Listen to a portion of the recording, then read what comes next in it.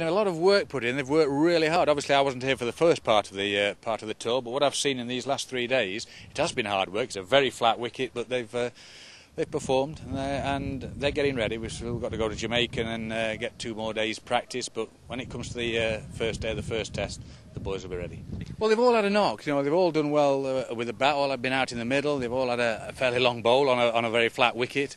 Uh, what they've got to do now is go to Jamaica and just take that a little bit further on, fitness wise, uh, mentally wise, just get it toned ready to actually perform and be off and running when they go into the first day, whether it's with bat or ball. Uh, we've got ideas, but you can't make a decision when you're in a, on a different island. We've got to get to Jamaica, see what the surface is like. And then work there. But we're in discussion. Uh, I've had, just had a long chat with with the two Andrews, and we know virtually where we're going, but we just need to uh, cross some T's and dot some I's. There's all battles, you know. There's all you, have got a squad out here, you know, a squad of uh, an extra batter, extra bowlers.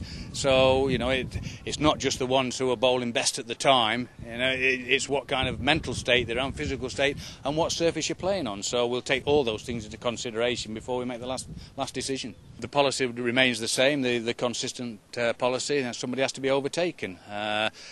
Uh, and if we feel that somebody is playing well enough to be overtaken, then we'll make a decision. But you can rest assured that if we make that decision, there'll be a run for that person. So we, it's got to be absolutely right that it's the right time to make it. We've got the opportunity to play uh, two spinners if we need to.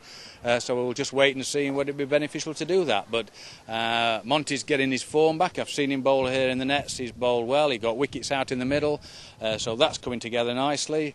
Uh, Graeme's Graeme's bowled well. He, it was a very flat wicket to bowl on there, but he's in uh, he's in good nick himself.